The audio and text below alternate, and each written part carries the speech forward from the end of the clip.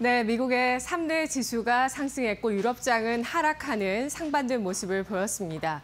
아, 이런 가운데 비트코인은 또 차익 실현 매물이 나오면서 어, 제 장중에 우리 돈으로 7,100만 원 선 돌파 시도 어, 확인이 됐지만 다시 한번 6,600만 원 선까지 밀려나면서 6만 달러 선에 대한 테스트를 어, 이어가는 차익 실현 매물을 받는 모습 보여주고 있는데요. 아, 간밤 이제 부양책이 재개가 됐고 또 백신이 도입되는 것 5월까지 어, 전 미국인이 백신을 맞는다라는 것에 대해서 어, 증시 낙관론을 보였습니다.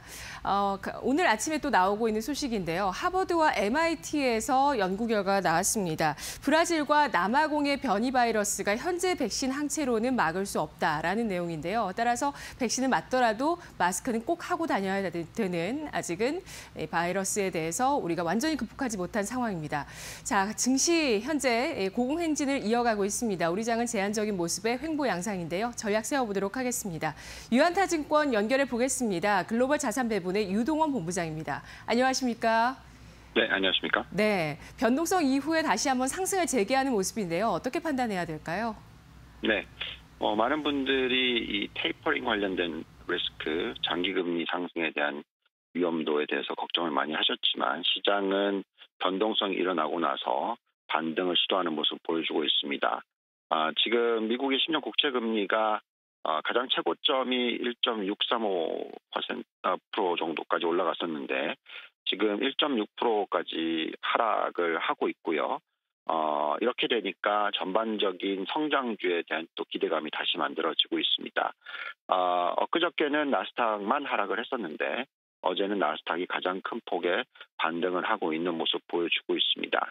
특히 지금 경기 민감주로 받아들일 수 있는 업종이고 또 대표적인 성장 업종인 반도체가 지금 전체 나스닥을 좀 리드를 하는 모습을 보여주고 있고요. 어, 반도체 업종 자체는 거의 2% 이상 급등을 하는 모습 보여주고 있습니다.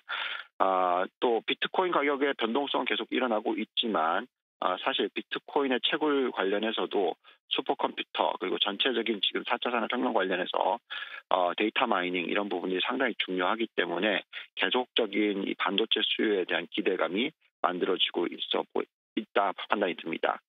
아, 관련해서 또 commodity 쪽에서 보면 아, 유가 같은 경우에는 65달러를 돌파를 하긴 했었지만 아, 지금 다시 또 안정을 찾는 모습 보여주고 있고요.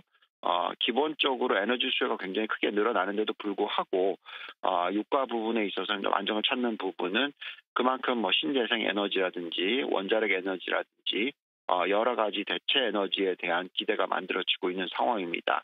어, 전체적으로 지금 미국 같은 경우에는 신재생 에너지뿐만이 아니라 어, 원자력 에너지 관련된 관심도 많이 늘어나는 고, 늘어나고 있고요. 어, 뭐 관련된 ETF라든지 종목들이 상승을 보여주고 있습니다.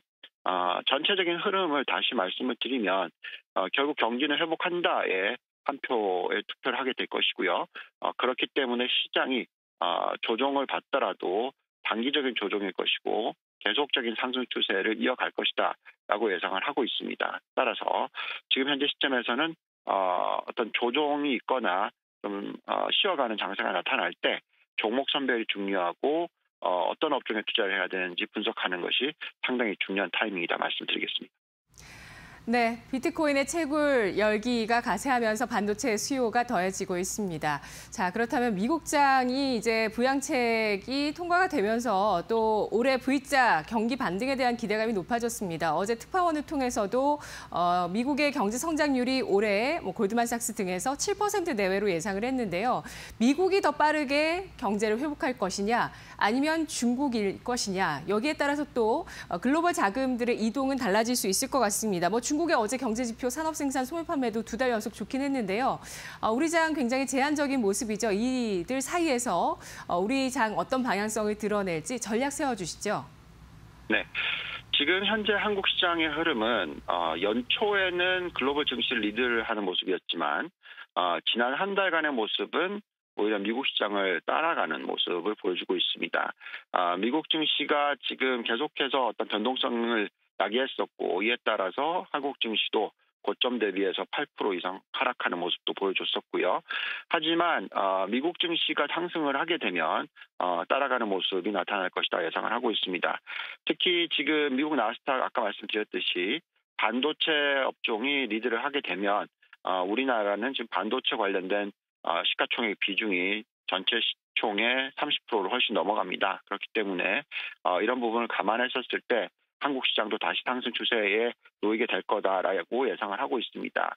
어, 또한 4차 산업혁명 관련된 어, 우리나라 기업들의 수가 상당히 많습니다. 그래서 어, 그런 부분을 감안하면 앞으로 추세적으로 놓고 봤었을 때 어, 나스닥의 복귀, 어, 미국의 성장주의 복귀가 일어났었을 때 한국 증시의 상승이 어, 따라갈 수 있다라고 예상을 하고 있습니다.